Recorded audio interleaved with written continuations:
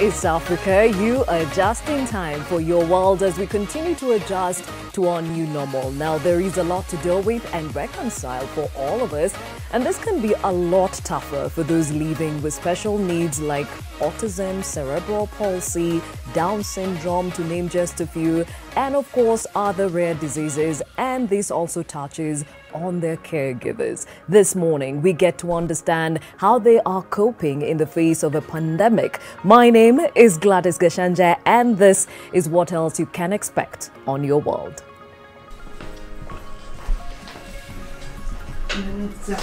Over a billion people live with some form of disability, with this corresponding to about 15% of the world's population. This today, we take a look at how they are coping during this season.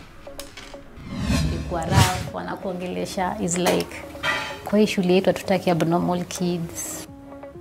We meet Deborah, a caregiver to a child with autism, and she narrates her son's journey from birth.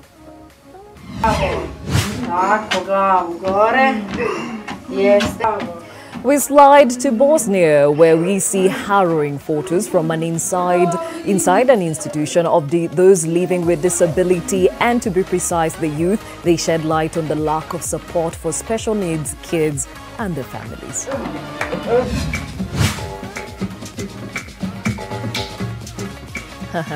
Clearly, that is how a COVID 19 social distancing party would look like.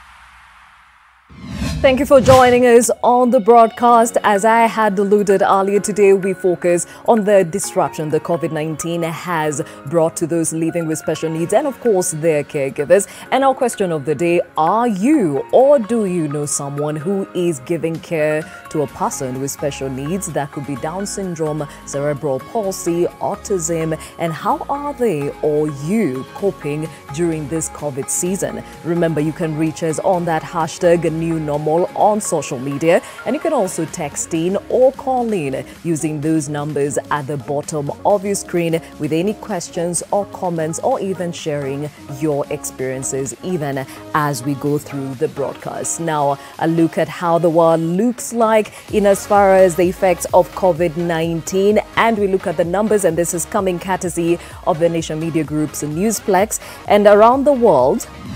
6,717,847 people have been confirmed to have contracted COVID 19. 3,262,096 people thankfully have recovered from the same, and unfortunately, 393,000 people, 456, have succumbed to COVID 19. Now, a look at what's happening right here in Kenya, and uh, so far 94,507 Kenyans have been tested, and 2,600 of them confirmed to have COVID 19.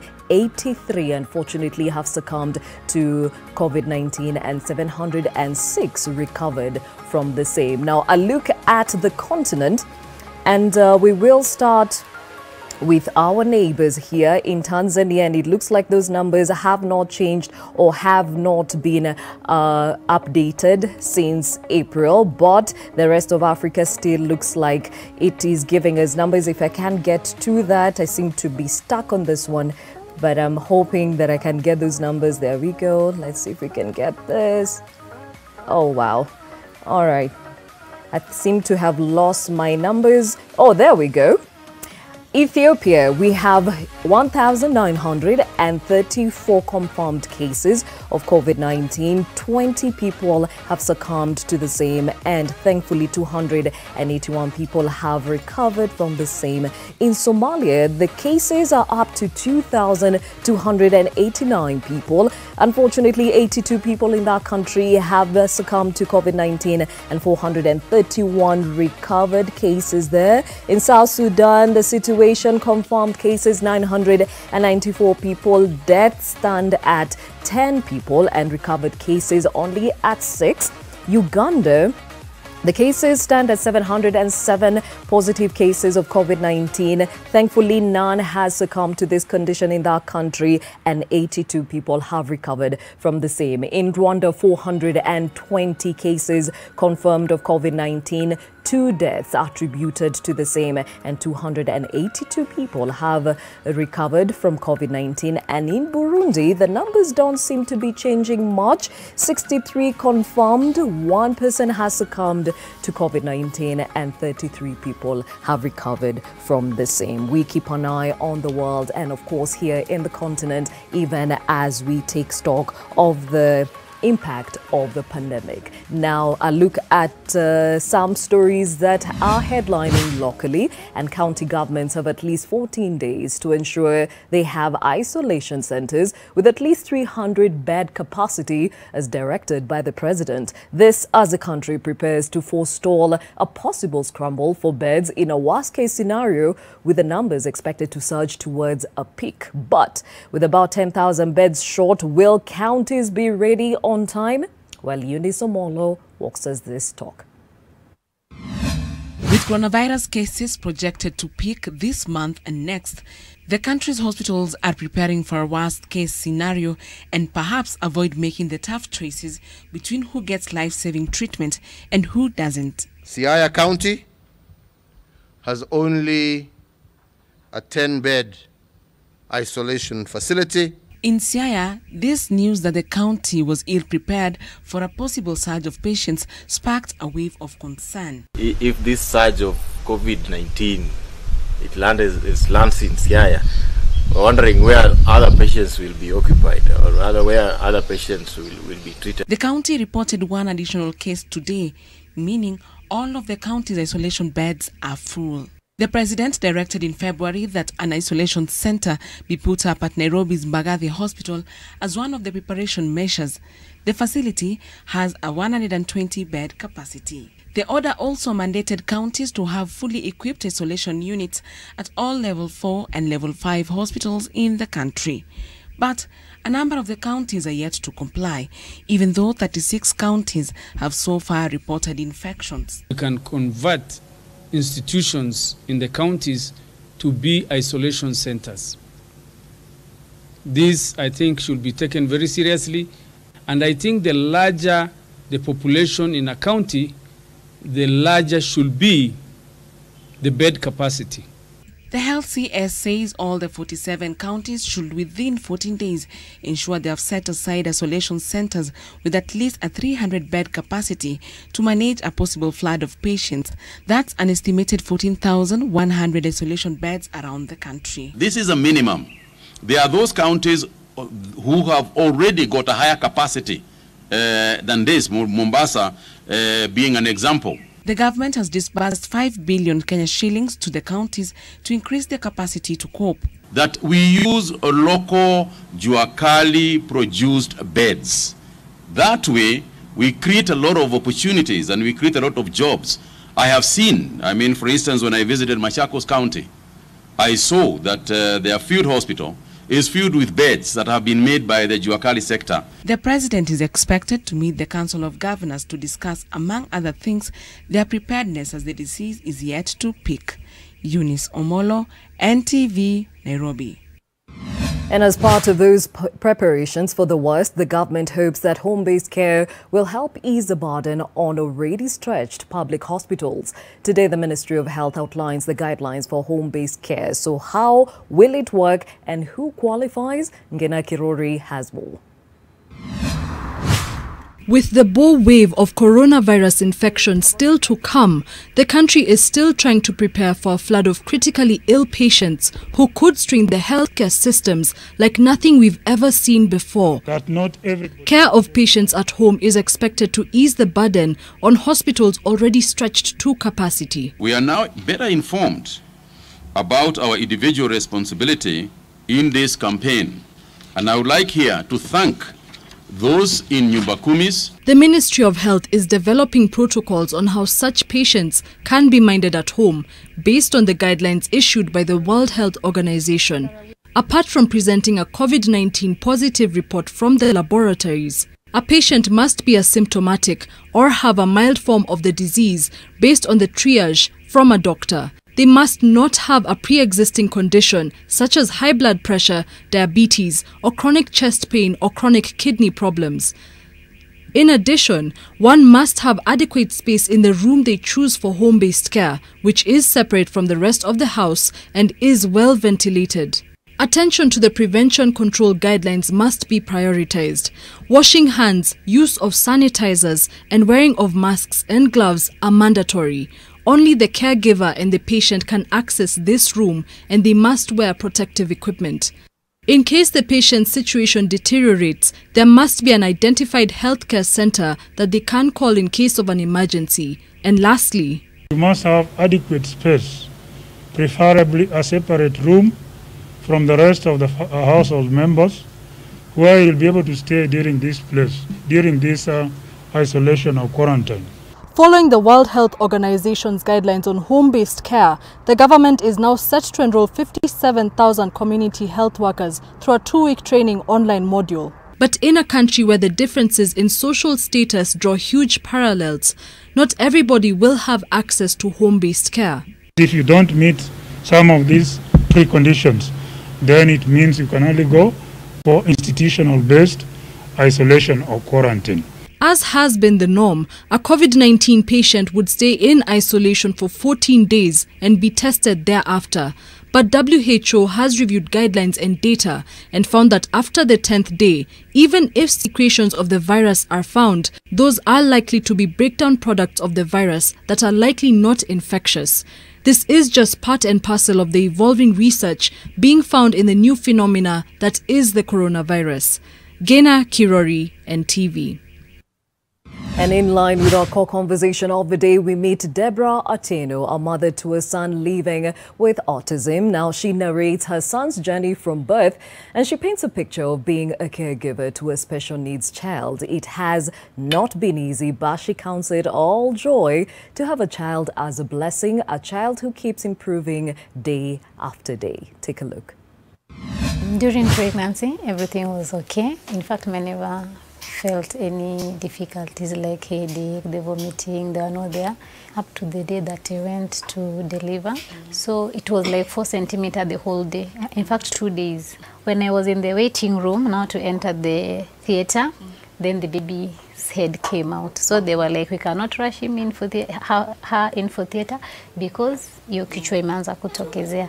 When the baby came out, he never cried. When he was in the nursery, the second day he convulsed. From there akawekwa on drugs, the um, anticonvulsive drugs plus some antibiotics. I used to go for the review like twice per month. Later it was once per month for up to five years. But when he was three years, I stopped the drugs because once, one, it was, it was very expensive. At three years, he could not sit still properly. The head, ukimbeba, kichwa ilikuwa inaanguka huko. So you could not even carry him on your back. Unambeba kama mtoto wa like a month. The legs were still weak. Everything was just weak on him. Actually, the dad was so supportive. Tulikuwa tuna naye yak, tunaona what the, what the doctor anafanya. Tukifika nyumbani hata sisi tunafanya. Later on he advised us kumpeleka shule at least apate hiyo kampani ya watoto wengine because alikuwa rough, angeweza atakaa. Oth- Other head teachers walikuwa rough, wanakuongelesha is like kwa hii shule yetu hatutaki abnormal kids. So from there ndio nikampeleka ACK St Monica in Utawala. For the time ameona huyo speech therapist kumekuwa na improvement because he can count 1 to 10 anaita mam, mm, maji, nataka kususu, mtaka kupupu. So mi ninge request, sijui kama ni the government ama the doctors wangekuja na a cheaper way of maintaining these kids ikuwe kama hao wenye wako na ARV imekuwa sama affordable. Hata hiyo nini hii dawa za convulsions ikuwe affordable.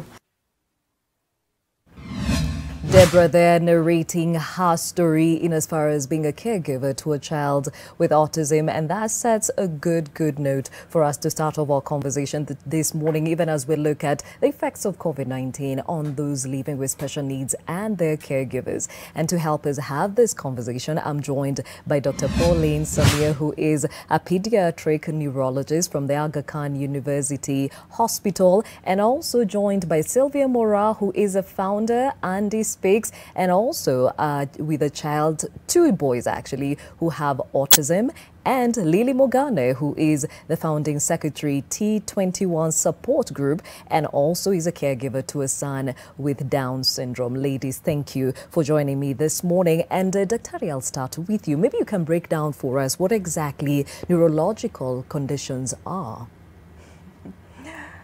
Well, Um, thank you for having me this morning. Um, neurology conditions are very broad. Uh, you've mentioned some of them. Uh, they can be grouped into very many ways, in various ways. And one of the ways we look at them is, were you born with this problem or is it something that you acquired? If you are born with that problem, you could end up with a clinical presentation of, um, uh, you know, um, of delayed development. Uh, and it, the cause of that delayed development could be varied. Uh, you may present with autism spectrum disorder, you may have cerebral palsy, you may have epilepsy, and of course, you've also talked about uh, things like uh, Down syndrome. Um, some other children, they are um, outwardly, they're perfectly fine. It's just that f- for them, learning is a problem. Understanding things is an issue. They do not have anything else that causes an emergency, but they just find it difficult, first and foremost, to understand their environment and to manipulate that and to learn. Then we have other problems that come along as a child interacts with the environment. This is a lot to do with, for example, vaccine preventable illnesses. Like you can get uh, measles today, you end up with um like what we call an encephalitis, and you know a swelling of the brain, and that goes away. And then later on, you find that uh, this child has now deteriorated, is having seizures, and we don't even have treatment for that.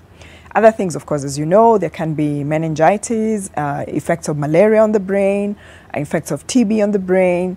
And then, of course, we have um, accidents. We have uh, quite a number of children now involved in accidents uh, which um, uh, result from motor vehicle uh, the motor vehicles or even boda bodas, the use of boda boda.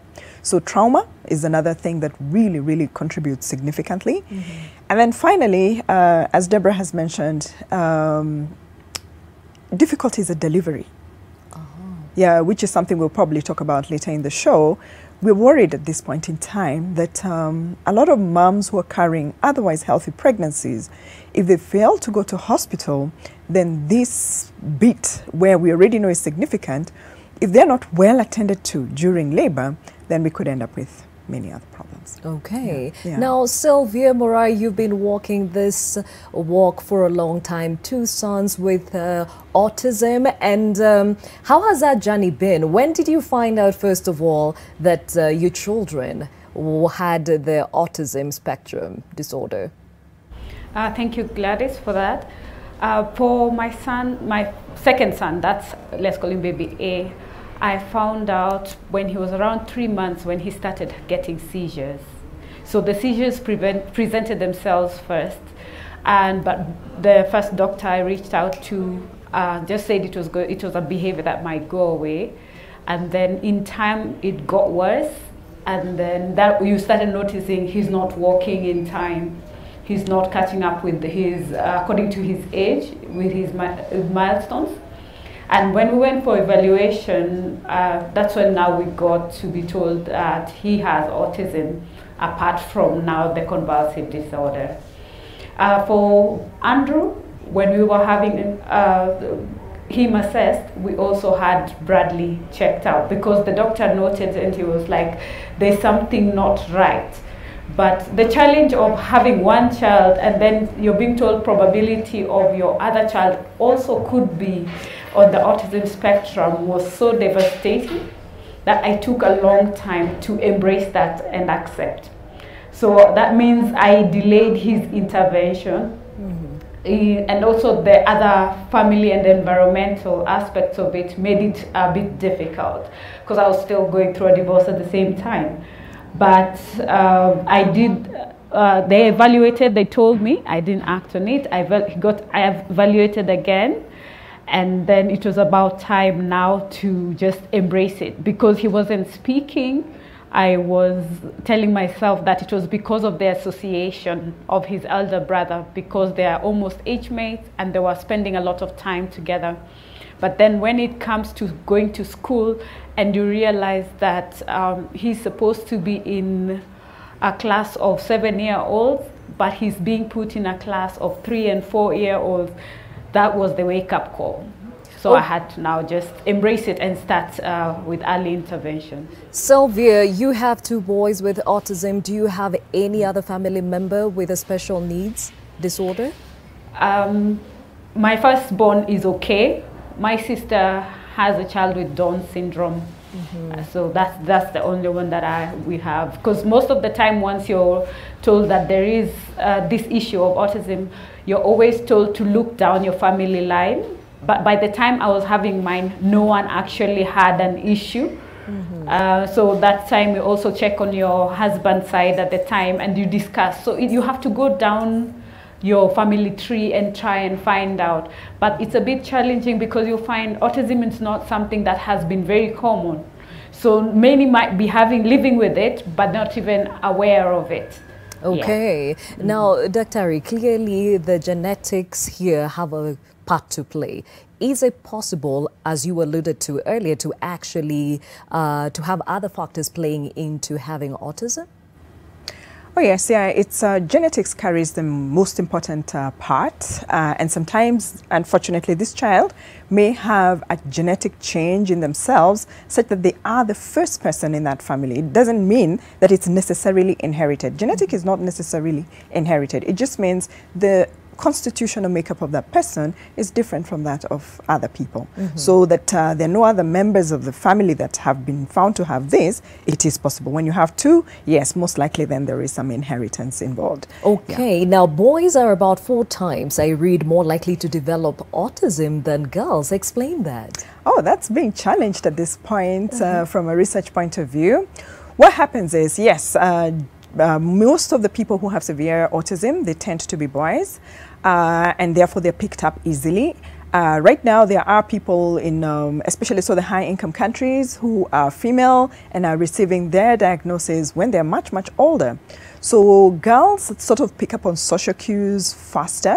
They could still be on the spectrum, but they learn how to adapt. So we're beginning to challenge that narrative that uh, we have four to one, which is what we publish. Um, it's probably thought to be something closer to two is to one, two boys for every one girl. Uh-huh. Yeah. So okay. Knowledge does evolve. All right. Yeah. Now, Lily Mugane, you have a boy who has Down syndrome. When was this diagnosis made for you? Hello. Yeah. Um, my boy called Mugane, uh, Munene Mugane. He's five years old. And yes, he was that he was diagnosed. Uh, we actually came to know about his condition for Down syndrome when he was three months. We knew about him at birth because um, the pediatrician told us at that point she was not sure whether he had, he didn't have the full markers for Down syndrome. Uh, but uh, by three months, when we were going during the regular clinic visits, we questioned and asked, why is he so floppy? He felt more like a pillow. And the doctor asked us, so are you suspecting anything? And we're like, no, we don't know anything. Is there something we should be worried about? And that's when she recommended that we should do the karyotyping test with the blood work.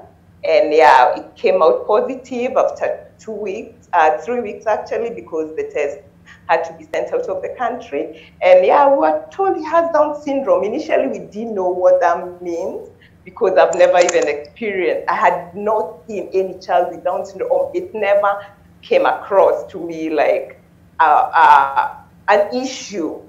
But yeah, so when we got the results, the doctor was very devastated. She actually cried. Maybe she was mourning the child that she thought she would be uh, taking care of. She's been our pediatrician. Even we have two other children. Uh, so she's been our pediatrician all along. And yeah, that's when it hit us. We were like, okay, so what's all this about?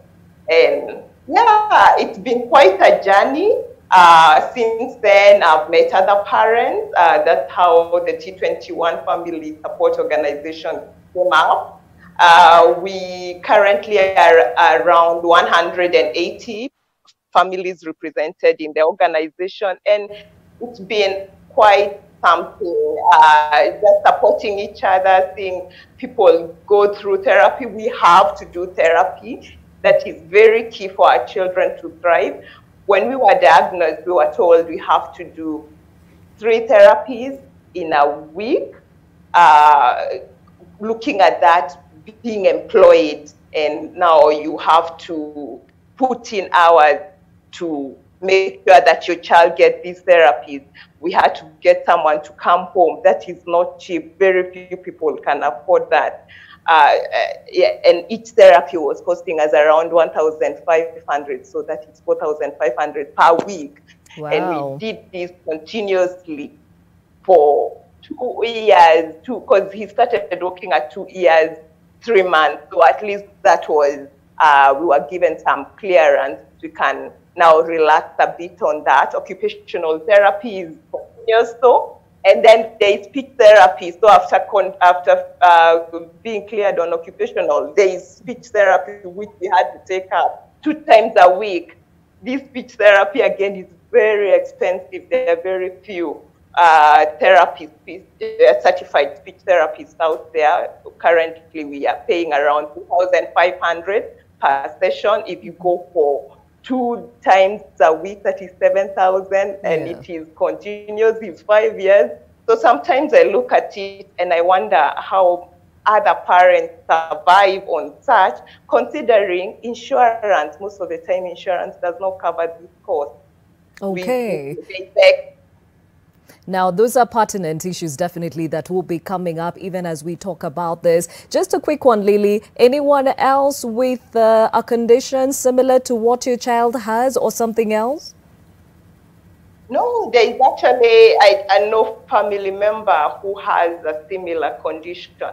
Even considering this is a chromosomal issue, Yeah. there are some that is it uh, there's a part that is hereditary, mm-hmm. which is only covers which covers around three percent of the of the children. So it's rare, but it can happen. But I don't have any family member who has the same condition. Okay, now, Daktari, break down the biology now, the science in it. T21, apparently it's the it's some defect with the that chromosome. Explain that to us. Yes, there are many ways um, uh, somebody can get uh, Down syndrome, but the most common is where, when the fetus, or rather, yeah, when the fetus is being formed, or what we call the embryo, there's a process where you get uh, you inherit um, material or genetic material from your mother and some other material from your mother from your father. So when those come together you can only have a certain number. So you're supposed to have 46 chromosomes but uh, with with the T21s most, a lot of times number 21 fails to sort of um, separate so instead of inheriting one copy, say from your mother, you end up inheriting two copies from, you know, from your mother and one from your father. So you end up with three of them. Occasionally, you also have breakages in the chromosomal material, and so a piece of the T21 can also break and join itself onto the current one, so that you end up with uh, two of them, but with extra material. So you find that um, it seems to be like a more fragile chromosome than the rest. So the, those are usually the most common ways in which you can inherit that. And actually, yes, uh, Lily is uh, correct.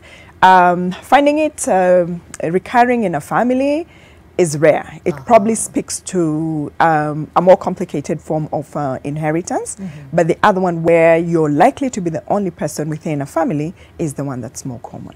And let's touch a bit on the risk factors. I was reading up and they say advancing maternal age could be one of them. Like if you have your babies when you're too Even when you're too young, if you're 15 and 16 and 17, we, Uh-huh. we actually find a larger number uh, of uh, younger mothers having children with uh, Down syndrome, partly because they are the ones having more children. So, yes, it's true, age is a risk factor, Yeah. but it doesn't mean that the fact that you're 18 or 19, you cannot get a child with Down syndrome. You still can. All right. And now that we're talking about risk factors, Mhm.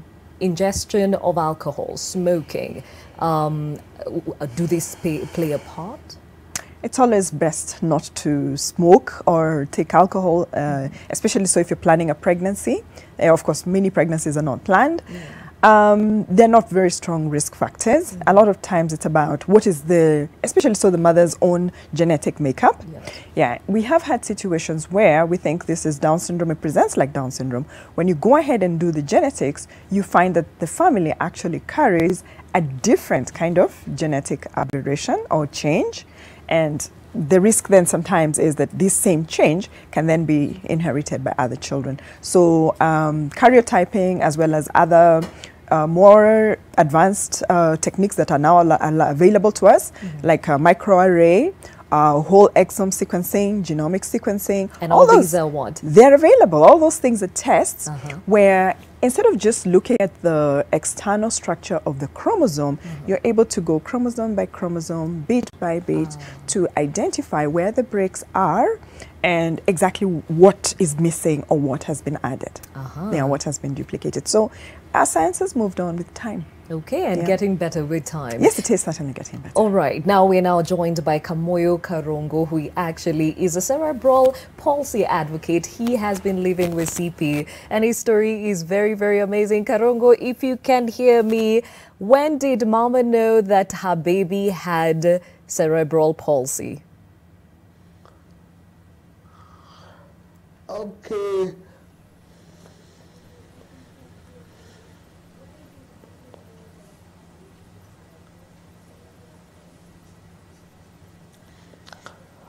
When I was born, I, I did not cry. Then I cried after three days. Okay, and at this point, when they diagnosed you with cerebral palsy, what did Mama say? What did she tell you? What was her reaction? She took it in a nice way and decided to move on and I've done a lot of therapy for me to reach the way I am today. Do you have siblings, Karongo? Yes, I have an elder sister and a younger sister. Are you the only one with cerebral palsy in your family? Yes, I am the only one. And what is your how does your support system look like? Who do you live with? I live with my my mom. Okay, and I understand that you actually work for the Communications Authority, right? Yes, And that means you are able to go through your schooling right from primary to university. yes. How was that experience for you, Karungu? I started in Silverius School called Joytown from Silverius class up to class seven. Then I was changed to um, Okada Disabled Children's Home from class 7 to class 8 mm-hmm. where I did my Kenya certificate of pri- primary education. And where did you go to high school? I, for high school, I, I went to Castamina School and I was at this scholar. Okay, and you made it, did well, and went to university, right? Yes, Which one? I went to digital advisory and learning cent- center, which is now Gates Africa. Oh, well done. How was uh, the experience going to school? Did other children look at you differently?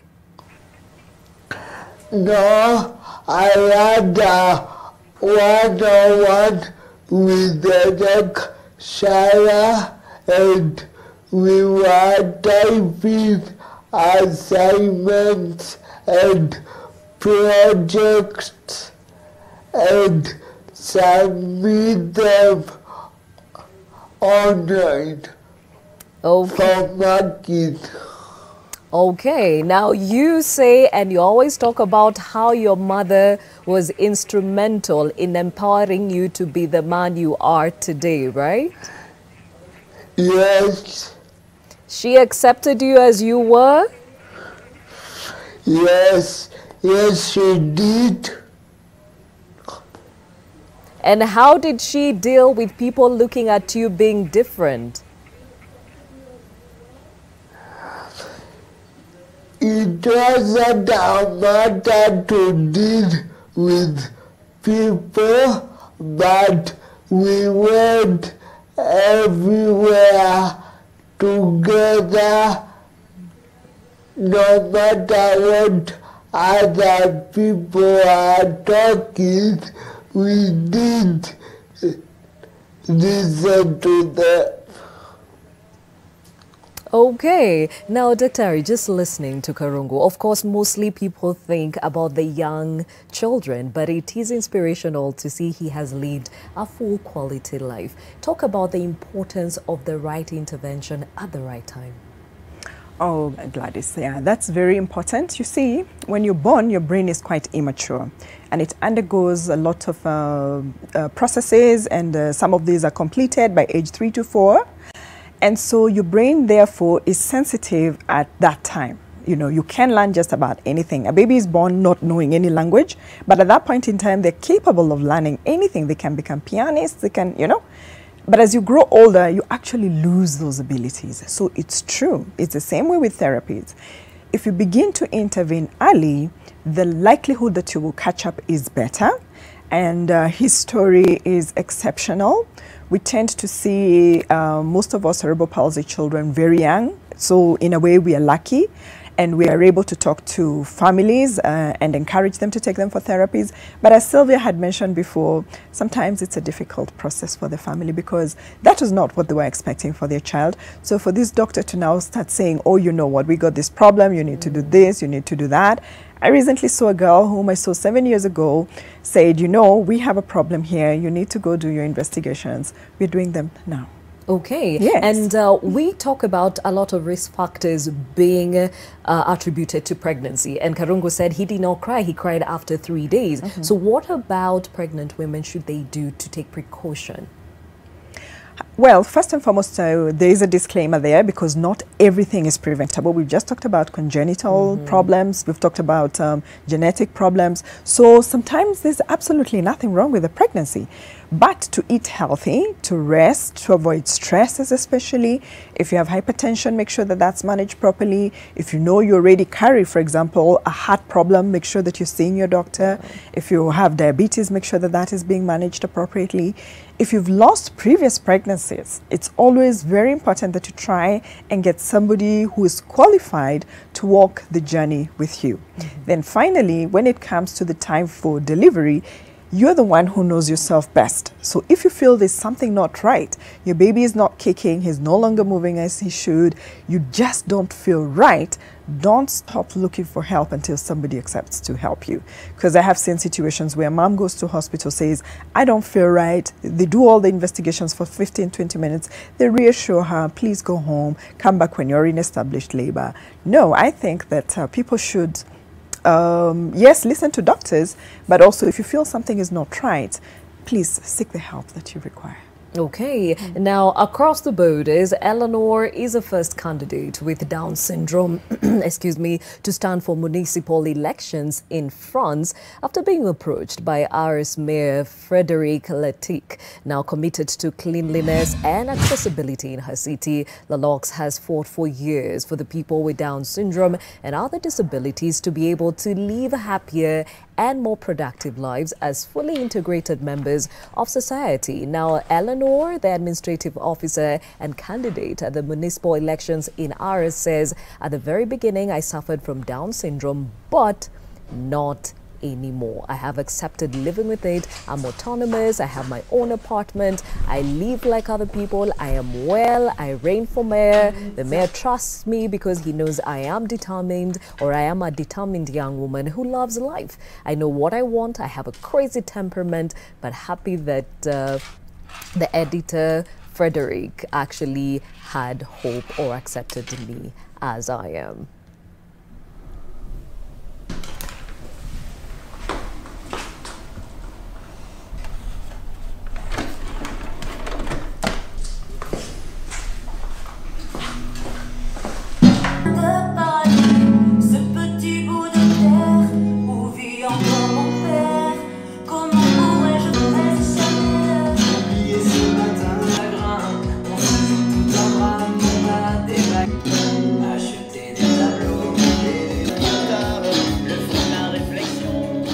Amazing, amazing story there. And clearly you can see she's full of life. Lily Mugane, you have a son with Down syndrome. What does that story do for you?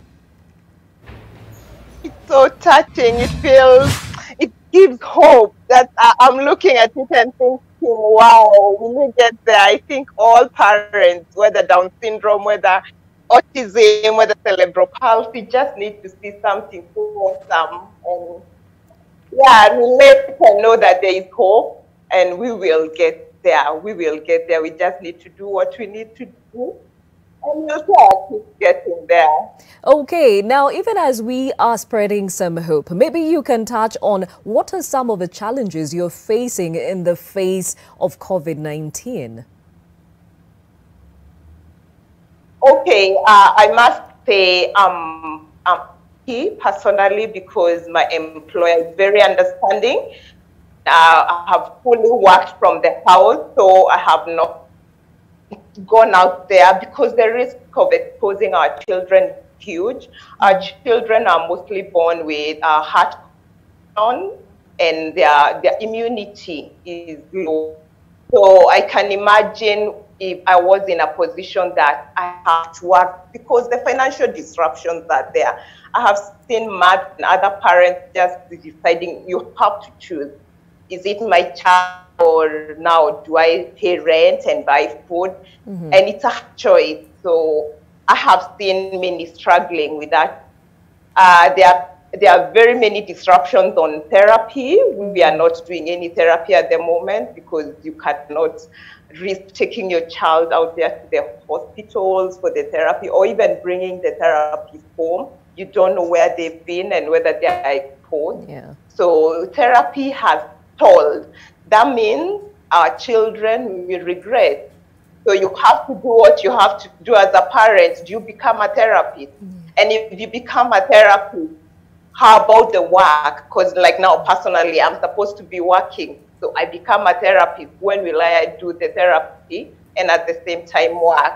And then the medication, accessing medication.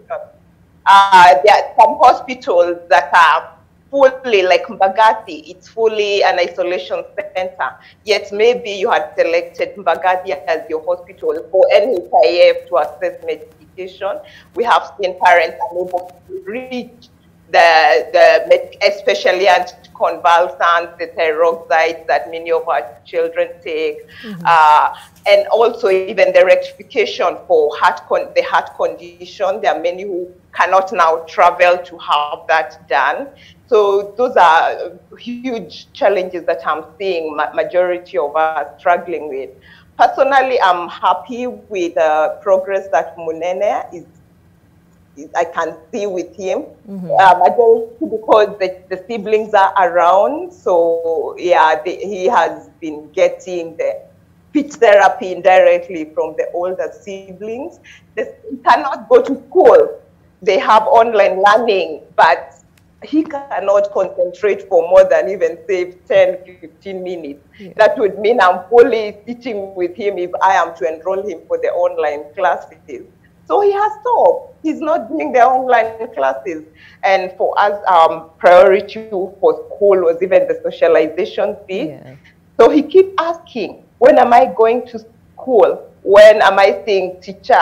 And after some time, even though you try reaching out to the teacher for them to talk, it gets to a point thinking, I don't want to talk to you anymore. I want to see you. We've tried video calls. He also gets frustrated. Yeah. And there he's used to a certain routine. That routine has been disrupted. So it's mm-hmm. gotten to a point that his meltdowns are also more. And mm. I have to understand that it's because he's, there is a change in his life. Yes. But now, what does that do to me? What does that do to the siblings? What does that do to the whole family? I can't say many are struggling in this situation.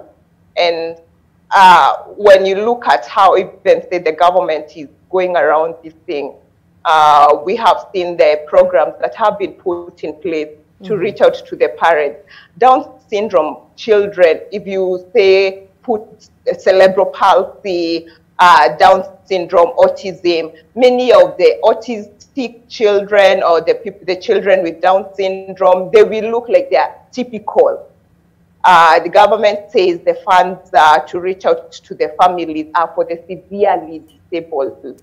Yeah. Well, How do you know that neurodi- neurodiverse community is severely disabled or not? It's not physical. So the judgment for that is lacking, and a majority of us have missed on those uh, support uh, funding from the government, and it's becoming quite something. And seeing that we are going to go through this deal, I don't know when now that there is an extension, we really need to look at how to support each other. And as, a, as an organization, we have tried our best.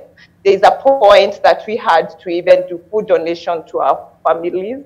We reached out to Rotary Club, we reached out to Kapu Africa, and we got some food that we distributed to our families because the need is there and it is bad. It is it's really devastating. Yeah. And I hope uh, the only my, my only call out there would be after all this, our children will also even have uh, they are doing this double take. So they are suffering now, and after that, when we go back to another normal, there will be another disruption.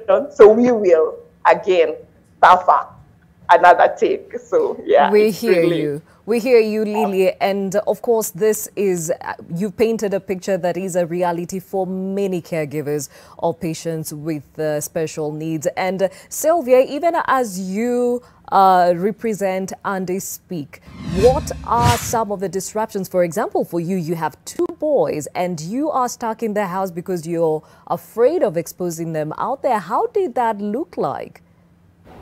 Uh, thanks, thanks Gladys for the question. Uh, at, at first, it was uh, traumatic for me, for the boys, because you're trying first to grasp what is going on. Apart from that, now you have to embrace it and try and live with it. With a child with ADHD, that is my last child. That means they are very hyper and uh, they need to move a lot because the electrons in their body is very is excessive. So they really need to get it out, and that's how they do it by running around. So the minute the lockdown is introduced, that means he has all this ball of energies that he cannot let out. Of course, that means there was a lot of distraction in the house. There was a lot of meltdowns. And then combine that with Andrew, who's autistic and lives by routine. He wakes up, there's a specific way everything has to be done throughout the day. So, and you know, all this was very sudden. So there was no time to follow the protocols that we normally do when we're introducing change to him, which is speak to him and let him know, use photos, uh, and try and just have that conversation. Also, remember that um, he's not verbal, he's partially verbal he does only like three words. Actually, Dr. Samia is our neurologist. So, and we were due for uh, a review, and all of a sudden you can't do that. Uh, we're looking at our stocks of medication because he, he had just uh, gotten out of ad, a hospital from admission. This results to a lot of meltdowns. We are seeing regression in the behaviors that he has. So things we had overcome are now coming back. Things like sensory overload. Now he's he's not having his speech therapy. That means we are seeing a lot of drooling because of, of the exercises that they usually do for his mouth muscles. As much as we're trying to have conversation and teach him new terminologies and stuff like that, there are things that I am not qualified to do. Uh, even other parents are going through the same. I have the advantage that I've interacted a lot with the occupational therapists and speech therapists in, in the space that I am in and that Andy speaks. But then when I have to do it, and I have to, looking at that, it's different because Andrew's needs are totally different from what Bradley mm-hmm. needs. And you find Andrew now started getting behaviors like violence. He starts screaming nonstop. He's crying. He's frustrated. He cannot communicate this emotion, this emotion of frustration. So you can imagine you are dealing with hyperactivity on one side, then you're dealing with this meltdown, which can last an hour. By the time the day is over, you feel like your head is exploding. Yeah. And apart from that, you still have regular life. I need to provide. I'm a single parent. I they have to eat. We, our community was the first to be affected because I'm a graphic designer and events. So all events were cancelled. So you can imagine you're dealing with real life stress and trying to figure out your way how you move from here moving forward and you still have to deal with this. And apart from that, then there is the education side of it, as Lily had mentioned, which is now interrupted. There are two different individuals. Andrew, Andrew's learning style is totally different from Bradley's learning style. And you only have a limited amount of time, and their concentration span is at maximum 10 minutes. And So at the same time, you're trying to get a new routine. So Yeah. it's, it's a handful. And how are you coping? That sounds a lot. How are you coping? It is, it is a lot. And first, for the first two weeks, there was, of course, the phase of de- depression, trying to realign everything and figure out where you're going to move from here. And the sad reality, sometimes you'd like to have a support, but you, find you're the only support you have. Although we have WhatsApp groups, we have Facebook where we connect as caregivers, but for me, you see, it's different. Like all the things that can go wrong is what has been handed to me. Because being a single parent, lockdown, no one can come in, no one can go out. So even if I would want to call someone to help me, it's a risk. You have to wait. I don't know where you are. How and my children don't understand social distancing because they're they're extremely social. Hmm. So it, it's not been easy. But like for this weekend, for us caregivers, you have to learn how to adjust. So I opted to reschedule, reschedule my my my program. So I try and go to the office just to change environment and align my mind by working two to three times a week. And then the other days, I'm a therapist, I'm a teacher, I'm the play partner to the boys. But um, at least for this weekend, I sent them over to my mom because I, they need the space. I don't have that much of a space because you live in an apartment. She has bigger space, and I'd rather know. I know my mom understands. I know sh they know what the challenges that are there. So I sent them, them with the elder brother and the nanny. Okay. Then now it's it's the time now you breathe and reload your energies to be able to deal now further. Wow, wow, Yeah. that's intense. I mean, Dr. Samia, a lot is happening at this time. First, let's start off. Is telemedicine possible for those with special needs? Oh, certainly, yes. We have had the opportunity to help children in as far as Lodwar.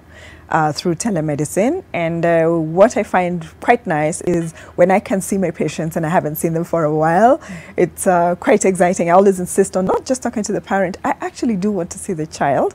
And for the child and I, it's actually uh, quite interesting. It's, it's actually quite nice um, that we have uh, put this together and reached out to families and said, you know, you really don't have to come to hospital, but yes, we can reach you through a video link. Sometimes it's only telephone that's available, but we're still able to sort out issues Mhm. that way. We try and make sure that their medications, wherever it is that they are, even for those outside the country, we've been able to uh, send them their medications. You find a way, you know, to do this. So telemedicine is truly the way that we're now thinking that going forward, we need to see how to reach even more children. Can you think about children of the pastoralist community, for example? Yes, yes. Yeah, so we are putting structures in place.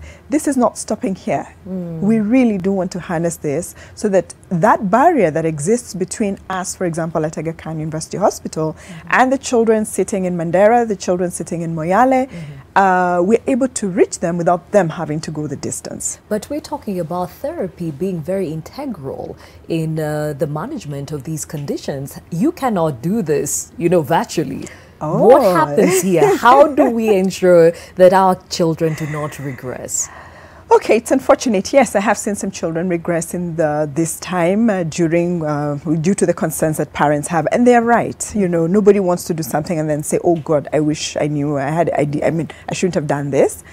Um, but having said that, there are ways these things are done. For example, there is a one formal structure that I know called the Early Denver Start Program, uh, where the parent is an integral part of the therapy process. The therapists actually teach you how to manage your child during a therapy session and how to continue even outside of the hospital setting. Mhm. So it's unfortunately I didn't get an opportunity to come with one of our therapists, but basically one of the things that can be done using telemedicine is for them to show you what to do real time yeah. with the child that you have in front of you. Mhm. Um, and especially so for us, what has been easy is especially so children we already know. All right? So rather than break off completely, yes, telemedicine can also be used to uh, break or bridge that gap, either by having another therapist that the family uh, trusts near them, or by even just using the parents. Parents are a very integral part. There's no therapy that goes on without successfully without the involvement of parents. When you go for a speech therapy t- uh, session, and you will always be given tasks to continue afterwards, so that hopefully. Uh, when you come back, then the child has made progress. Remember, the parent has a lot more time with the child than even the therapist can. Three times a week is a short time. Mhm. Yeah. So you, the p- parents are an integral part of it, and we really need to find ways to sort of um, either have group sessions to reduce costs for this kind of things, or use telemedicine to bridge the gap. We, I think, what this pose, you know, occasioned by COVID does is give us an opportunity to rethink exactly how we're delivering care and how we can do this better. But even as we talk about the special needs patients, we have talked about the caregivers being an integral part in taking care of them and their treatment and management. So, how are these caregivers taking care of themselves during this time? That conversation coming right after this break. Stay with us.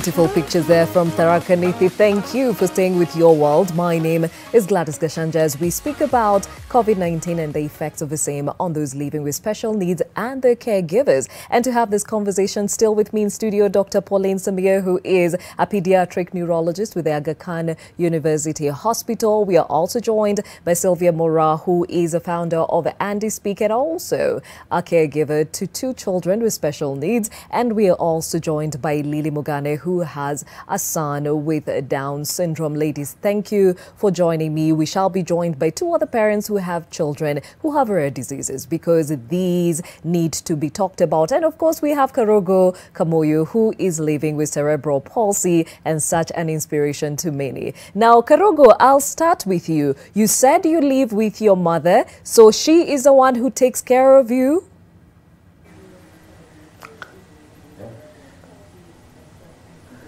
Yes, Is there anyone else who lives with you to help her?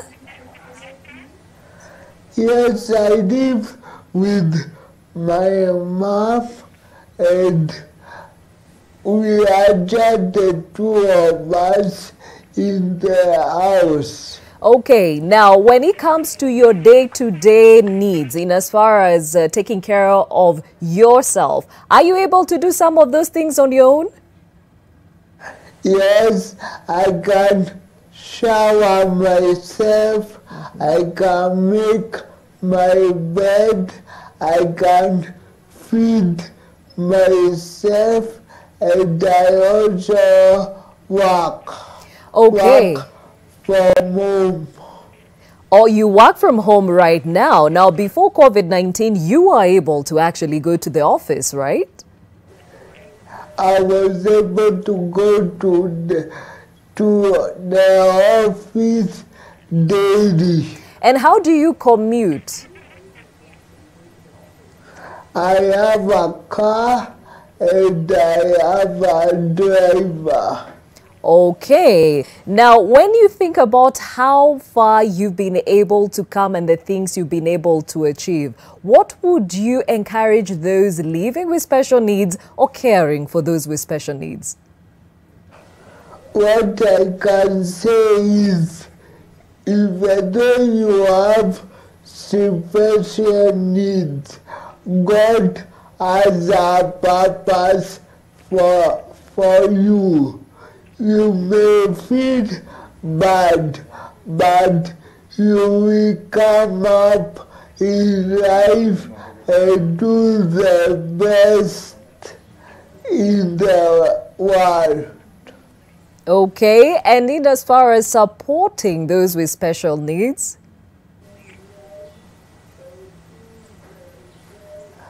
support them in every way they can so that they can be able to help themselves in their future life. Okay, and now that you are quarantined at home, has it been difficult to access treatment or medication?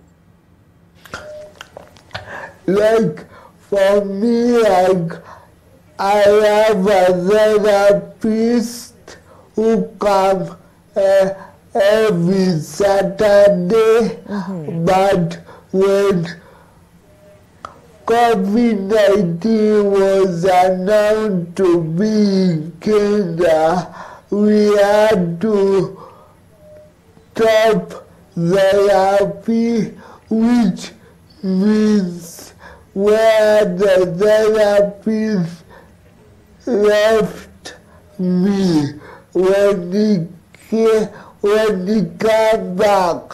I would have been gone back a bit.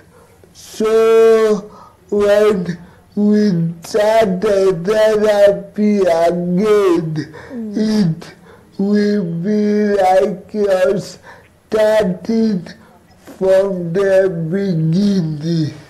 Okay, and in this case, what would you ask those who are in charge in as far as ensuring that therapy for those for, with special needs continues? Repeat it again. What can you urge those who are helping those with special needs in terms of therapy, medication? What needs to be done to ensure there's no gap? Now, what I can say is you come to see the, pa- the patient. Mm-hmm. Like even though you would resume your daily duties, mm-hmm. at least see the patient like once a week or two times in two weeks. Okay. All right. Thank you so much, Kamoyo Karogo, for speaking to us and being such an encouragement. We wish you good health and, of course, safety during this season. Thank you. All right. Now, Lily Mugane, before we went to break, we talked about the importance of the caregivers getting care themselves. How are you coping with everything happening around you? What's your support system? okay, because we have to do what we have to do. Um, I've been lucky to have a supportive husband. So after work, uh, that is at 4, 4.30, sometimes I just go and take a, a drive, a walk, and just be out, out there, even though it's for 30 minutes.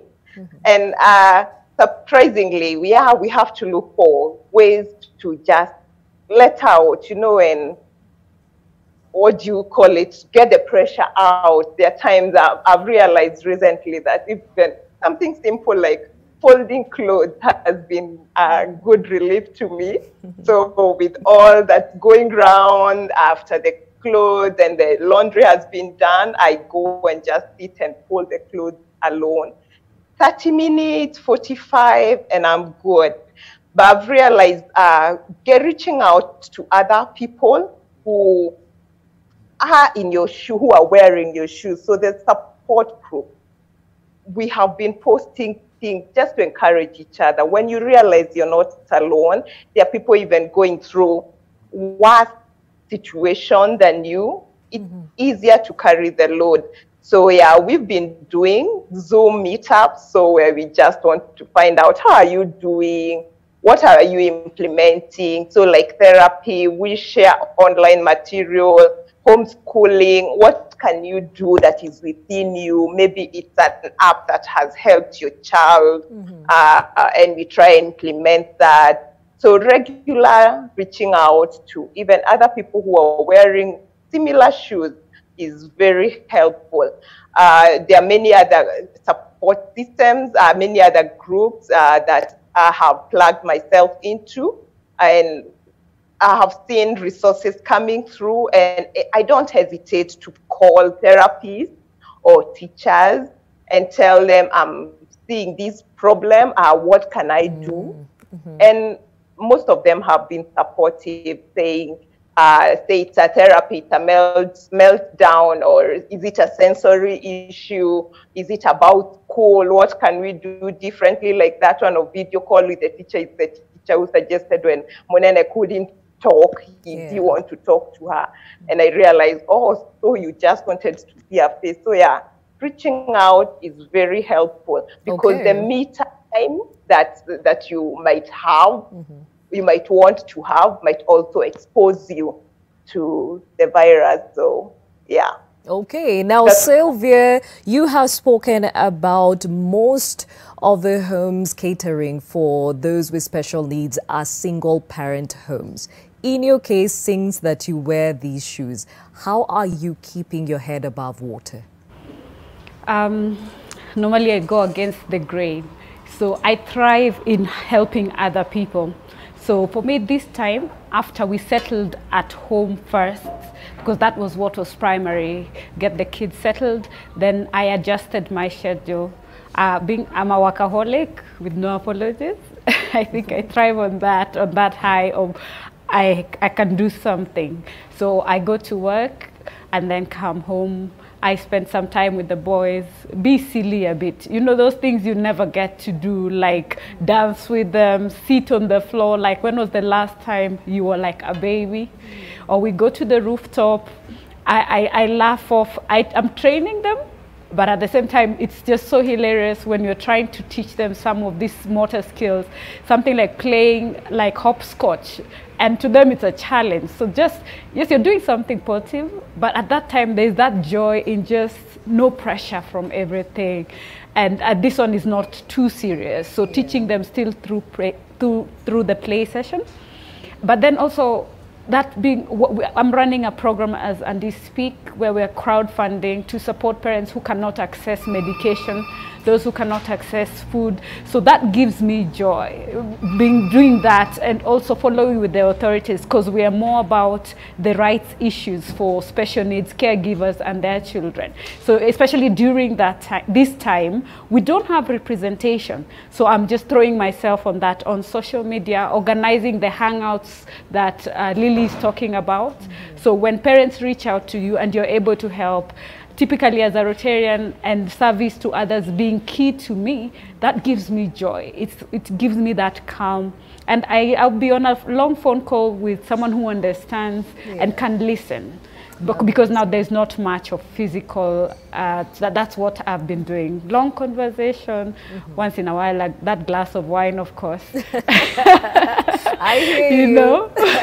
I hear So- you. Now, Lily Mugane, before we let you go, please put out there a word of encouragement for those that wear your shoes, take ca- catering for those with special needs during this time and even on a daily. Uh, just want to tell the parents who are wearing a similar shoes or even feel like theirs is even a tighter shoe, there is hope. We will get through this.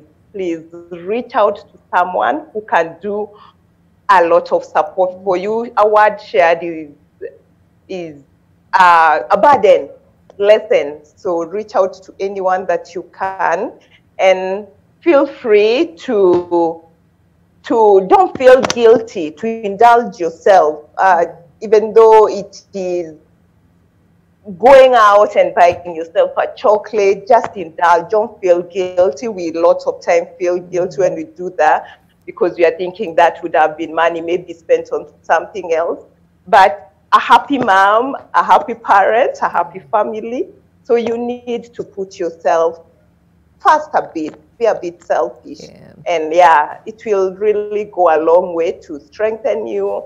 And all these, we, can beat it and we will beat it. And so what if our children are not going to school or are not getting the therapies? God has a plan for all of us. We will get there eventually. It will be beaten and uh, He knows what we are going through. So just reach out on that uh, a higher being that you can that you'd want to to give yourself strength with knowing that he cares and he has your back. And Amen other people are also empowered to support you. So yeah reach out Amen to that. Lily Mugane, uh, who is a founding secretary of the T21 Family Support Organization and is a mom with a child with Down syndrome. Thank you for joining us. We wish you good health and safety during this time and all the best with Monene.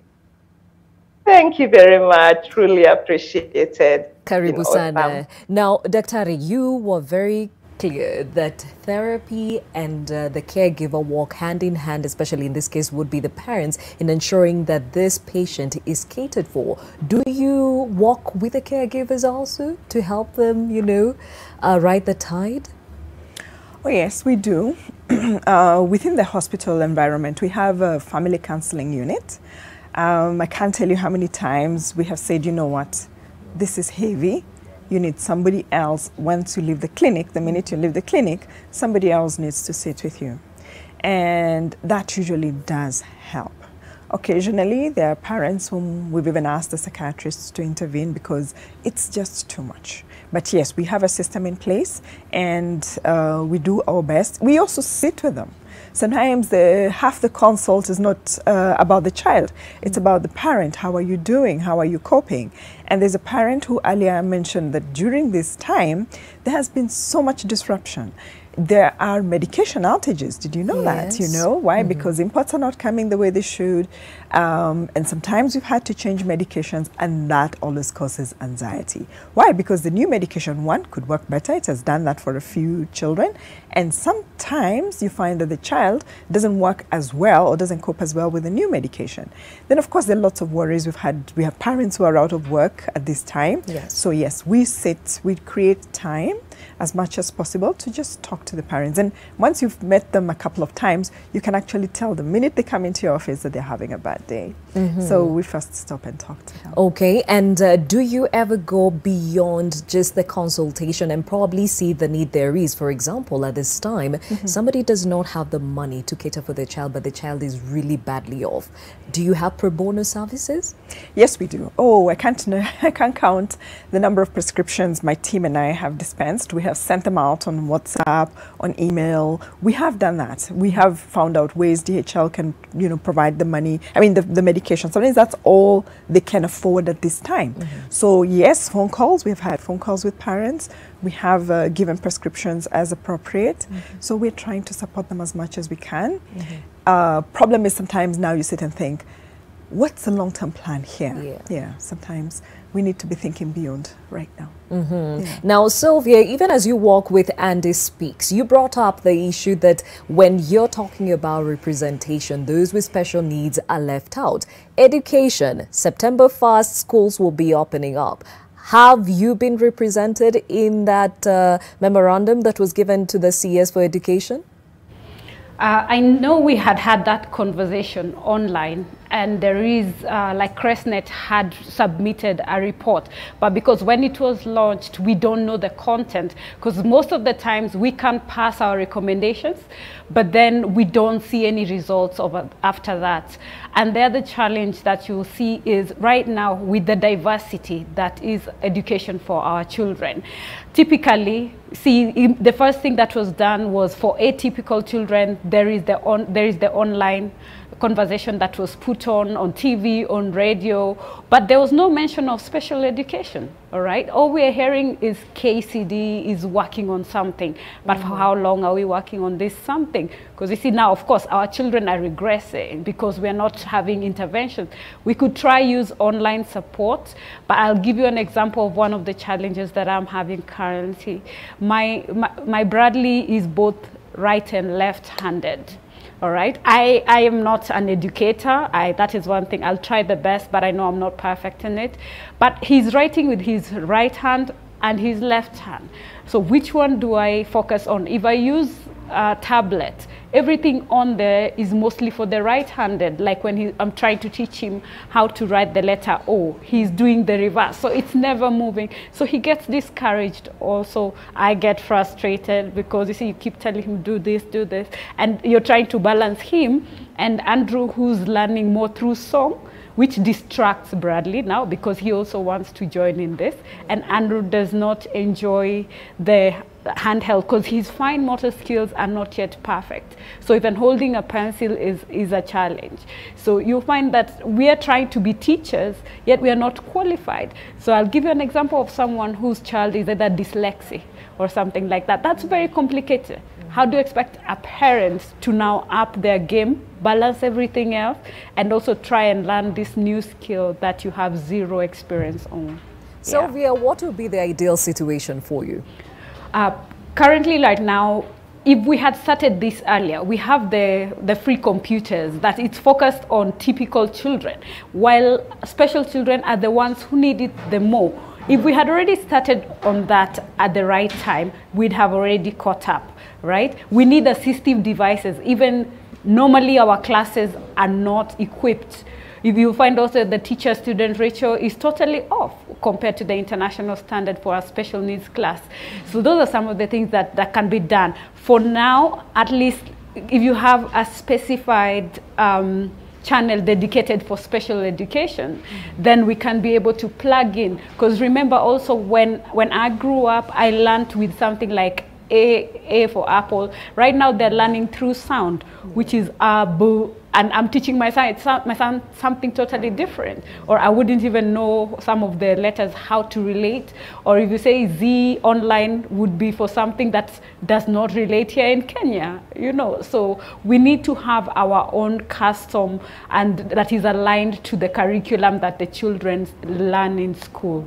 Yeah. Mhm. Okay, and even as we look at the needs of those with special needs, around 200 Israeli demonstrators protest in Jer- Jerusalem to denounce the shooting of Ayad Khairi Halak, a 32 year old disabled Palestinian, by Israeli police near the Lions Gate in Jerusalem's Old City, who they mistakenly thought was armed with a pistol. Israeli police in annexed East Jerusalem on Saturday shot the disabled Palestinian prompting furious condemnation from the Palestinians. The incident happened in the alleys of the walled old city near Lions Gate, an access point mainly used by Palestinians. Israeli police is annexed East Jerusalem on Saturday, shot a dead Palestinian that they mistakenly, as I said, thought was armed with a pistol.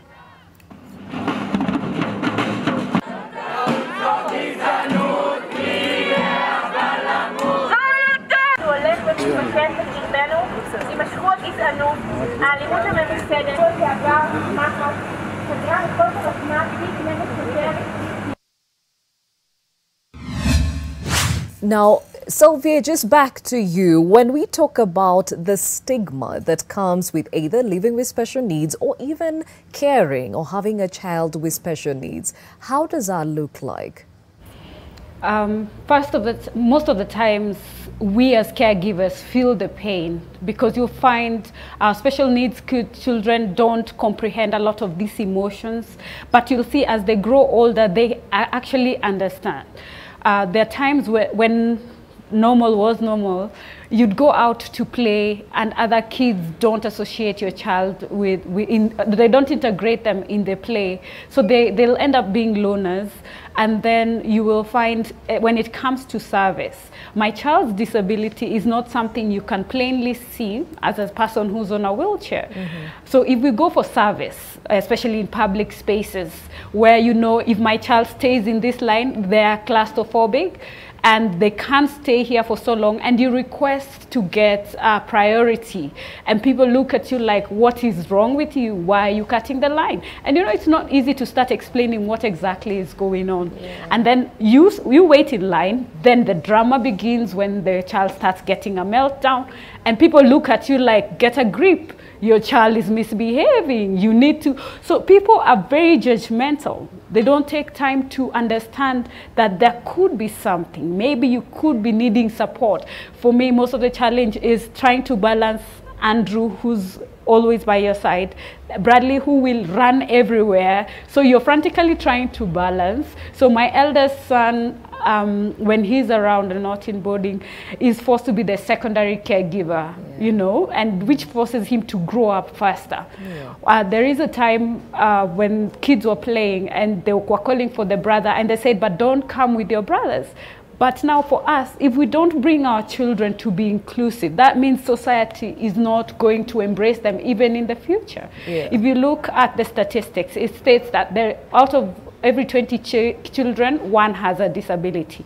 Why don't we take it as a lesson for everyone? We have 19 children who have the opportunity to learn to embrace difference and take people as they are because no one is always the same. Mm-hmm. Even us as grown up, we're all different in the way we look at things, the way we process, the way we think, our character traits. Why don't we extend that empathy and acceptance to those who are able differently? Yeah, because the parent feels the pain. You're already going through all these other things. The last thing you need is your neighbor speaking ill about your child, talking the way that your child can never amount to anything. We all wished for a normal child. It's not anyone's fault that they got a child with a disability or some challenges. And that's I what people you. need to understand. I hear you, Sylvia. And before we take a short break, Dr. Ari, how much is the stigma that comes with special needs a deterrent to getting the right intervention and on time? Wow, it is a big problem. And sometimes it starts with self stigmatization, knowing, you know, people feeling. I am not like other people because now my child has this problem. I must have been a bad parent. Maybe I'm cursed. Maybe I don't deserve the help that I'm being given. Sometimes it actually starts there.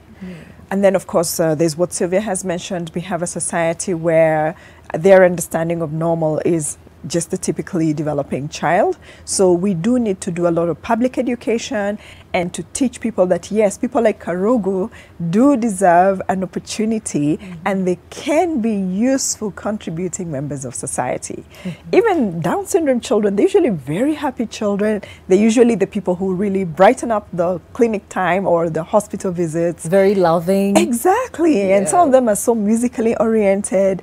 It's such a pleasure to be with them. Mm-hmm. So there's a reason, yes, as one parent said, there's a reason why God gave us these people. Yes, as a society, we need to advocate for them, we need to provide for them, and we need to accept them as they are.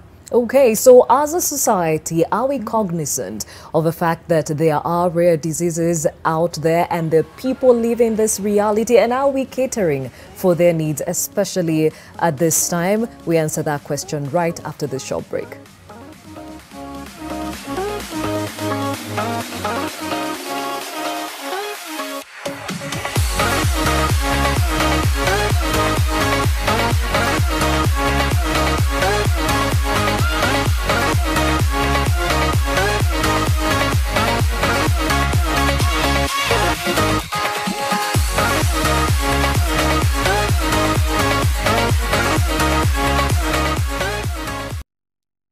Amar Sanitizer is an alcohol based sanitizer containing ethanol, which has a broad spectrum antimicrobial activity, killing bacteria, viruses, and fungi. Amar Sanitizer is enriched with aloe vera, making it gentle on your hands.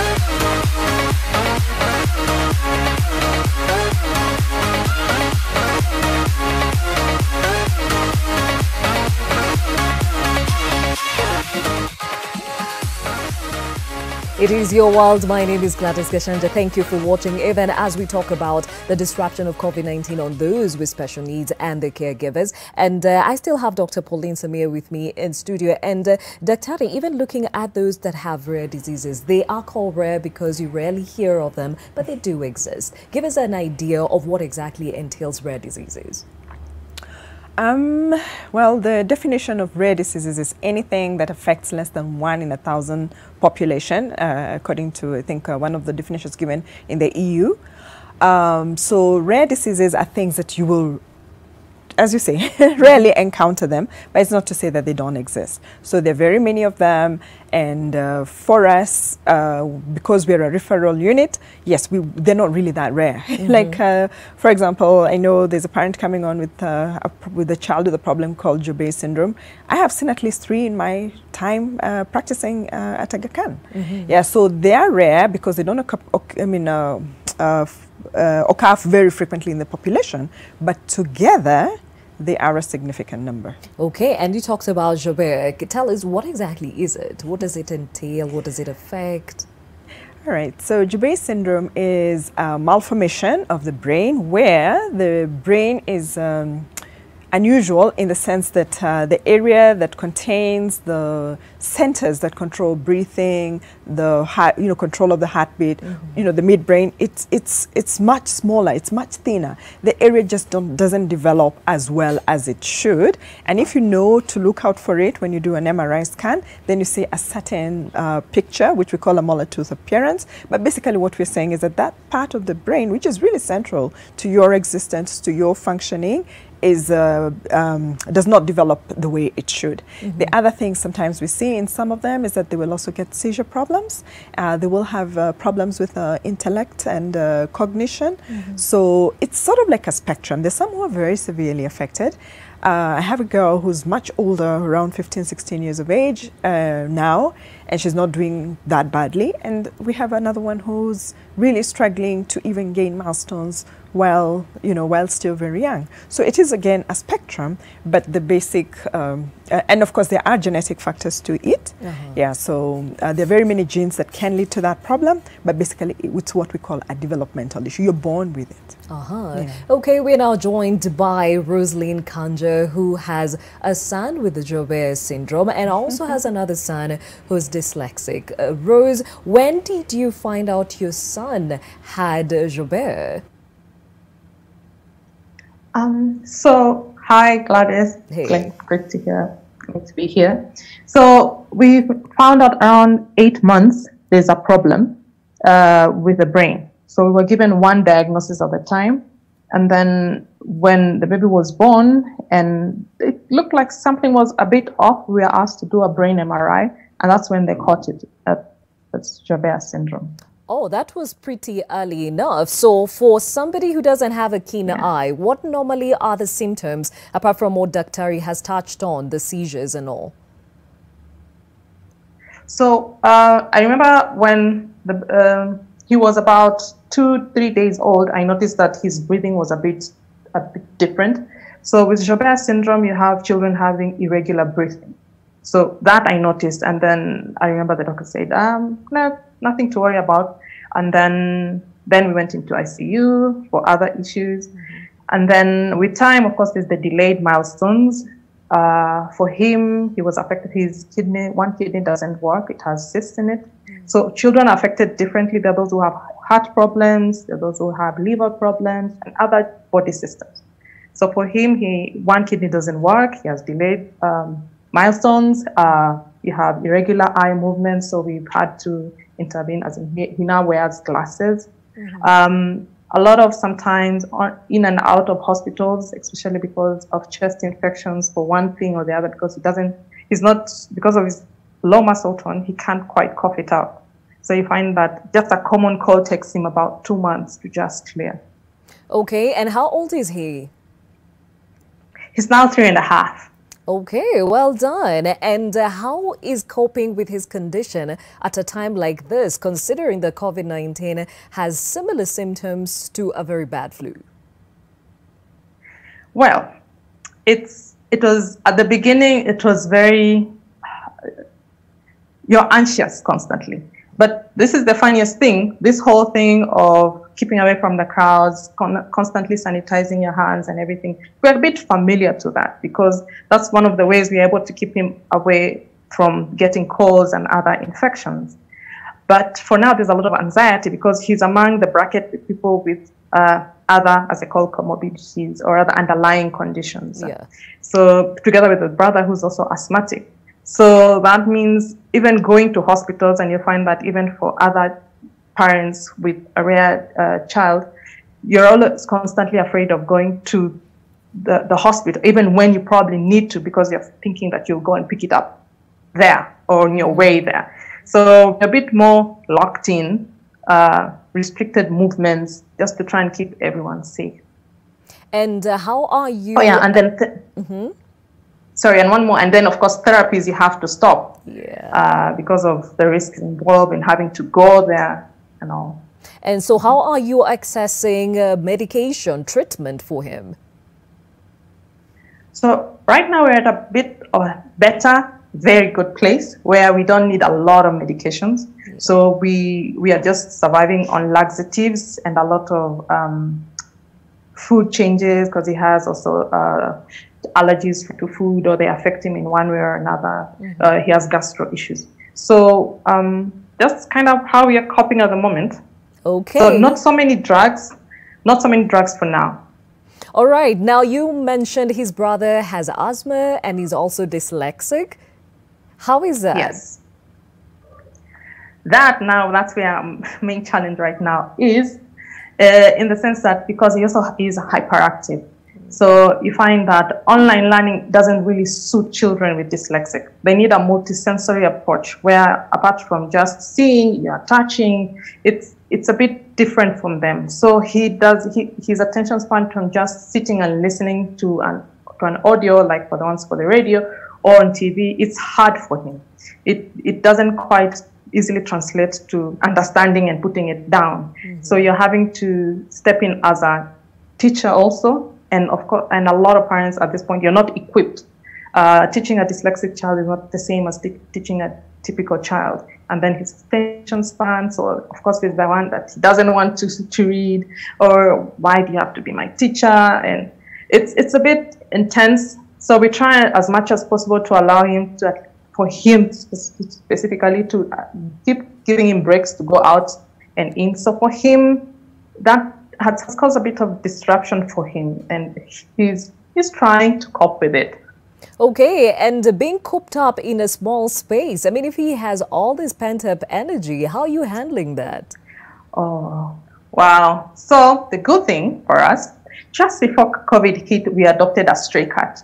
So that was God sent. So their buddies, it keeps him busy. So in a way, that has helped because he can't play with his brother like if it was any other typical family, they would be running around and playing together. So it's, so we've been able to keep him indoors with that. Um, trying to look for creative things to do in the house. Sometimes it's just like um, um, things on online learning. Uh, but I think around this point, we let him go a bit outside more so that he gets to release that energy. Then we come back and try and see what we can do. So learning for him, you see 10 minutes, then you go, ah. then another like five minutes. So that that's that's tough. Okay. Now, I'll uh, when we come back, I'd like to find out how you're handling this as a caregiver. But across the, borders, children with hands bound together and tied to a radiator, some in tears, harrowing photos from inside an institution for the those that are disabled, especially the youth, have shocked Bosnia and shed light on the lack of support for special needs kids and their families. The photos from the public institution outside Sarajevo were first revealed by an opposition lawmaker in November, triggering street protests and outrage over the inhumane treatment. Now, a probe is underway, and the director of the home has been dismissed, but some 3,000 other minors live in such institutions, isolated from society and often in grim conditions, according to the NGO Sumero, which helps youth with disabilities. These centers are a last resort for parents who are left to fend for themselves in one of Europe's poorest countries, where the most help they can hope for is a monthly state allowance. Now, uh, Kulalija, 41-year-old supermarket employee in Sarajevo, is well acquainted with the difficult choices such as families face, such as these families face, and his brother has a mental disability and has spent 20 years living in the center under investigation.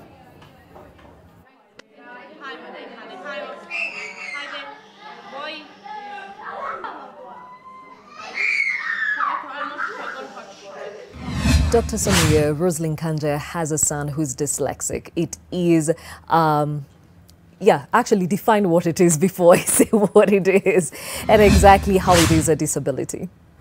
All right. Um, children who have dyslexia have learning problems. Yeah, they have uh, difficulties in understanding the written word. Some of them are very good, uh, I mean, uh, visual learners.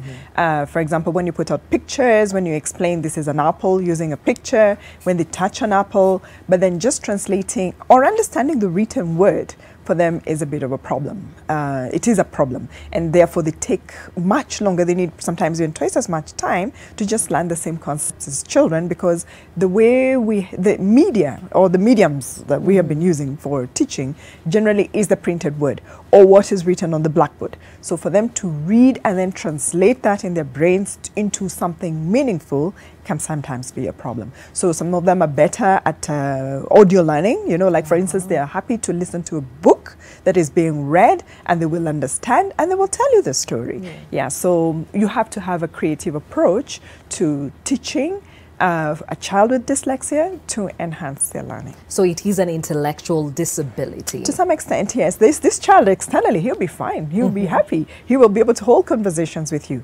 But when it comes to reading, then you have a challenge. Any indication as to why one child would have it and another wouldn't? Sometimes it's just the way the genet, you know, it's, once again, it goes back to genetics, how your brain is created and how the connections are able to mature according to your chronological age. For most of them, they eventually become, uh, they, they eventually gain the ability to read, to write, but it takes them so much longer. You know, like you can be 10 years old and the kind of books you're happy to read are those of children who are much younger. Why we never give up on such kids is because we know as their brains continue to mature, that ability does improve. But uh, during the foundation years, they need parents who understand them. They also need uh, teachers who are able to bridge the gap and re- need, uh, reach their needs. Uh-huh. Yeah. Okay, Rosaline, at least the boy is grown now, and you say he's uh, coping much better than he did when he was young. How are you coping at this time being a caregiver to these children? Well, um, it's tough because you have to sort of, you feel like you're constantly learning new skills, like not trying to be his teacher. Uh, at the same time, uh, give attention to Morgan, who has, um, right now, his medical attention is not that high. Uh, so we also have to teach him. So you, you become a teacher. Then, of course, it's there's the financial insecurity because now there's no work and uh, it affects your income which still affects how you pay for therapies and medical um, attention for, for these children. So it's a bit stressful. There's a lot of anxiety. Um, you have to constantly make a decision do I need to go out? Do I need to do this or that? So it is challenging, but um, you're still growing with the help for others, like a support system. You still call teachers if you have to, you write to people and you try as much as possible to just get by. You Try and still have fun moments despite everything that's going on. Now, you are part of a bigger community of uh, the Rare Disease Kenya, of parents who have children with rare Yes. diseases. What is the indication of how Yes. they're coping at this time? Well, it's tough, very tough for them. Well, you see, like some some need constant medication, and some of them are very specific medications, and they're very expensive. So you find with everything that's happening, they're not able to access or get their medication. So of course, this has an effect on their health. you need these medications to get by. Some have had to have lost their jobs. So of course, there's that uh, wondering what next, what happens to you, and you still have to either take care of a child or even take care of yourself. Of course, there's anxiety. Um, they still need to go to doctors and and still follow up uh, reviews and all that. But now, because you're constantly scared of going to hospital, then you delay it as much as possible, which is, on the other hand, still affects you. Um, so there's a lot, and, and you see, for the rare disease community, pe- people are affected differently. There are those who are constant medication, there are those who they need therapies, and then there are those who um, there's no drug. You have to get by. So, so those are the challenges. There's a lot of anxiety. So a lot of people are just simply staying home, trying to, you know, protect themselves. So, but at the same time, sometimes you have to go outside and work or get money. So it's it's really a trying time for people in the rare community. Okay, we hear you, Rose. And uh, across the borders, everyone is trying to cope with what they have to deal with. And with the staying at home regulations taking Yeah. a toll on people, they are willing to go beyond borders to ensure they can have some sort of social interaction. Here's what a COVID 19 social distancing party would look like.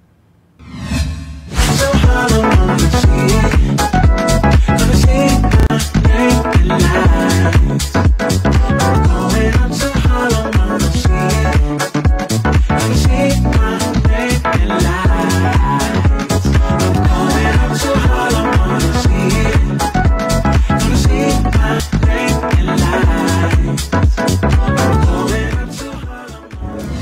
It clearly is the hashtag new normal. Now, the Japan Air Self Defense Forces Blue Impulse team was with aerial acrobatics over downtown Tokyo to thank healthcare workers. These Top Gun kid of salutes and celebrations to medical workers and other frontline workers have been both praised and criticized for being overly expensive, unnecessary, and an inefficient way to use financial resources.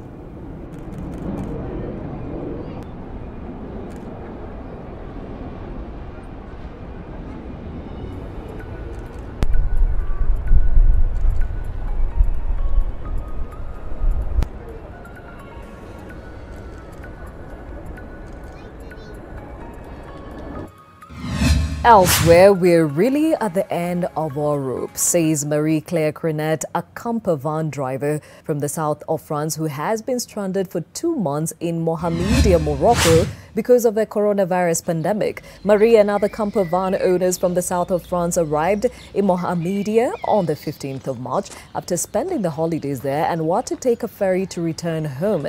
Despite registering with the French Ministry of Foreign Affairs website on March the 23rd, the camper van drivers are still confined in Morocco. Là, nous avons, là, c'est le compteur électrique, je pense. Et nous avons notre plaque chauffante, notre euh, four.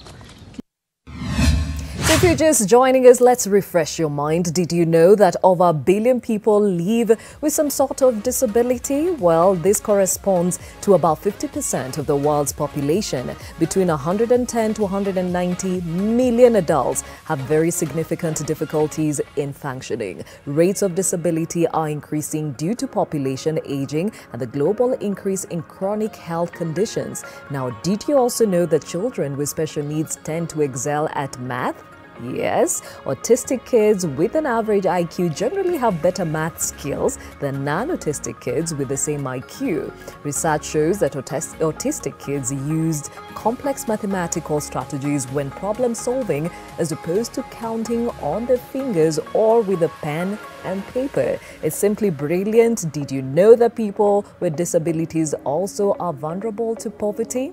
Well, they have worse living conditions, including insufficient food, poor housing, lack of access to safe water and sanitation than non disabled people. Now, at the end of the day, we choose to see if uh, is not as, as a disorder but as a unique way of seeing the world. We choose to see them as the rest of us, just a little bit different. All right, now, even as we talk about the special uh, skills that those with special needs have, Sylvia, is this something you've seen in your sons? Yes, that is that is very true because uh, all the while when Andrew was not speaking, he he pays attention to his environment. But the day he started talking, when he was around five, five and a half, he could hum and mime all the songs in the CDs of my vehicle, which was very um, shocking because one minute you are not talking, the next you can sing any song. He knows more songs than I do, although have, when he wants to listen to a specific song, because of the lack of clarity on how he would say it, I would have to consult with either the brother or the nanny. Then we think, what exactly is he trying to say? But if you get it right, because he'll go through and visually he can remember, and he knows all TV stations by their logos. So if we're if we're driving down, he'll tell you that's M-Pesa. So he goes naming everything. So don't assume just because a child is not talking, they're not understanding. When it comes to Bradley, he's sort of the genius in the house. Because anything mechanical, he'll watch you do once, he will repeat it. We go down a road, let's say to visit a friend, he will remember. The minute you start on that road, he'll tell you, We are going to grandma, we are going to our friend XYZ, and he'll tell you that's where so and so used to live. So he does not forget. Mm-hmm. That that's one thing that's quite awesome. Amazing. Now, Rosaline, even as we wrap up this conversation, what would be your clarion call to those that are tasked to actually watch over us in as far as this pandemic is concerned? Well, to first of all acknowledge that um, all this is happening, uh, that people in the special needs um, area have quite a lot of challenges that are not typical to other people. Um, for us, especially in the rare uh, disease fraternity, you have people who are missing really important medicines that are even not even there in the hospitals themselves. Yeah. So if we can be able to somehow help avail those medicines in one way or another, and maybe even subsidize uh, these medicines or even treatments, because I'm thinking of people beyond the urban sector. So we have a lot of people who are not able to pay even for the, the littlest medicine that they need.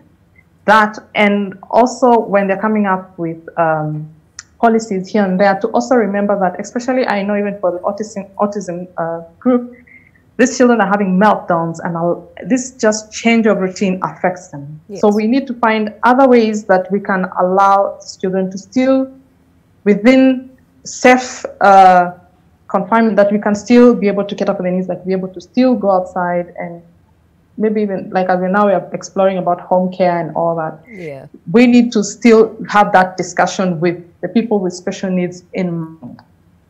Thank you. And Dr. Samia, even as we talk about telemedicine and catering for those with special needs, your parting shot? Oh, well, these are trying times, and uh, unfortunately, the way it looks is that uh, COVID is here to stay. So basically, it looks like uh, we need to radically change uh, some of the things that we do because you sit and think about it, um, especially so for the younger children. If we do not allow them or facilitate their therapies, what happens? It just means that um, uh, when we introduce this maybe two or three years down the line, they're likely to be less effective. So when uh, people's economic status changes, then you must therefore write effective medications that probably uh, cost less. Uh, you- I think we, we do need to change things, even within uh, the physical space, like within the clinics. Like I know at uh, Aga Khan, we've had to really spread out all our clinics. Not all children are seen, seen on site, like the ones who are needing vaccinations, that's all done off site. All the young babies who are just coming for checkups because they're two weeks old, they're six weeks old, those are also seen off site. So we have to change our systems. It's expensive, it was not warranted, some things are not even budgeted for, but we must do what we must do to be able to deliver healthcare in an appropriate way.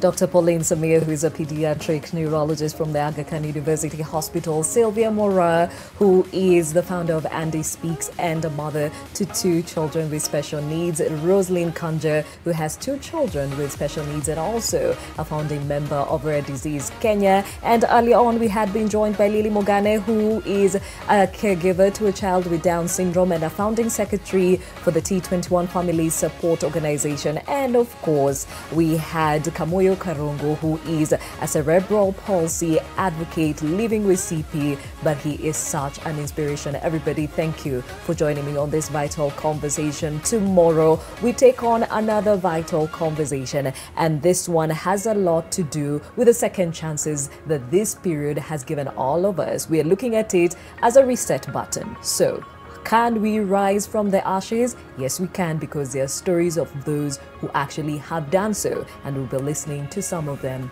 tomorrow. Thank you for joining us. My name is Gladys Gachanja. Have a good day.